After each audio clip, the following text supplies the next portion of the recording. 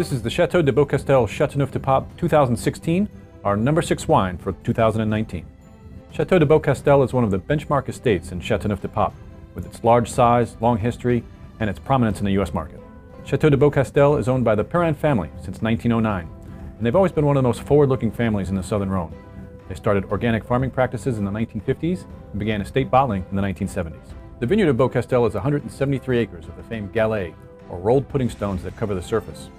These were left behind by the remnants of a glacier that swept down debris off the Alps.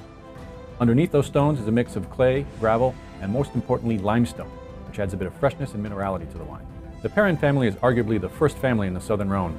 Across their three brands, Chateau de Beaucastel, Perrin family, and La Vieille Ferme, they control 2,500 acres of vineyards, all of which are farmed organically. What makes Châteauneuf-du-Pape and Beaucastel special is while they have a uniform terroir in their vineyard, they have to put more emphasis on blending grapes. There are 13 different grape varieties in this wine. The blend is predominantly Grenache and Mourvedre with a good dollop of Syrah, plus 10 other varieties, including some whites. The 2016 vintage in the Southern Rhone is a true classic, one of the best in history. It's on a par with 1990 and vintages like 2010 as well. As a representative of the superb 2016 vintage in the Southern Rhone, and for its combination of price, availability, and the respect that the Perrin family has in farming their vineyards, this is Wine Spectator's number six wine for 2019.